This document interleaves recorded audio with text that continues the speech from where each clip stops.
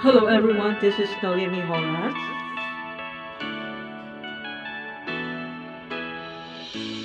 I guess I wanted something new in my life, and you keep the faith that you adore.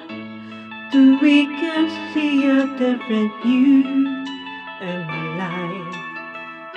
The one I've been waiting for. Dreams like everyone I had of you and my life. Who knew that this one would come true in my life? I knew the moment when you touched me, you touched like a sudden breeze that blew in my life. And you breathe, and you smile, and you song.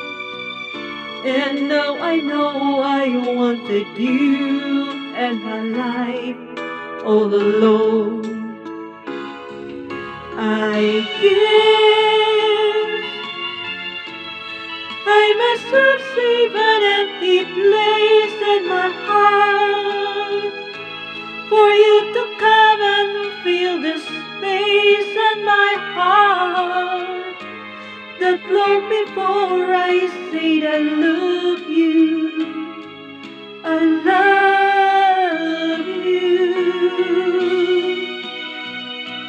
Thank you. Have a blessed day.